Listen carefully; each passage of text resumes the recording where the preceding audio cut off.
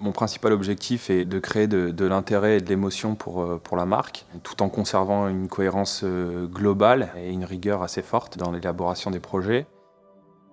J'ai découvert euh, le monde du vélo, j'ai découvert aussi un état d'esprit et une famille basée autour de, l'effort, du sport et du collectif.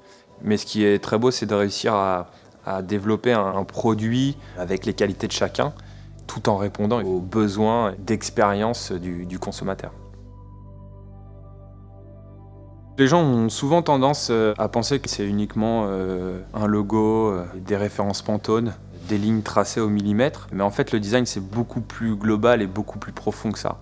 Le design, c'est une manière de, penser, une manière de concevoir la, vie au sein d'une entreprise. J'ai découvert pour la première fois notre manufacture, ce savoir-faire autour du carbone, cette orfèvrerie développée avec passion par nos collaborateurs.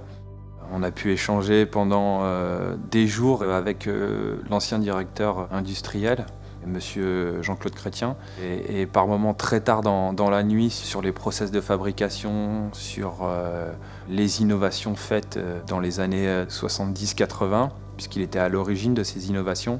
Donc beaucoup d'anecdotes, de rencontres, de solutions trouvées pour finalement arriver à faire un, produit totalement novateur et un produit d'exception.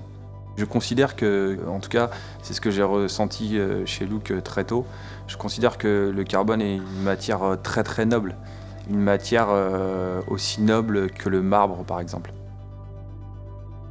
Je pense que Look va fortement évoluer dans les années à venir.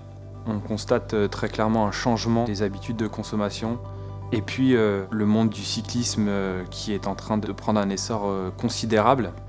Je pense qu'on travaillera toujours autour de la performance, mais euh, on va aussi dédier nos innovations et nos, recherches euh, autour de cette nouvelle demande pour le, consommateur, notamment euh, urbain, qui souhaite effectivement mettre le vélo au cœur de ses préoccupations et de son style de vie.